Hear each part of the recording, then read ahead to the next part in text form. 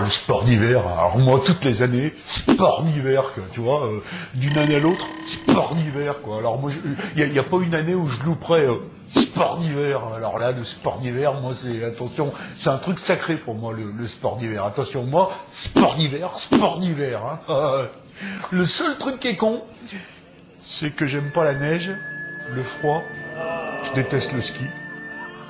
Et toutes les années, je me fais chier au sport d'hiver. Mais sport d'hiver quand même. Mais je me fais chier.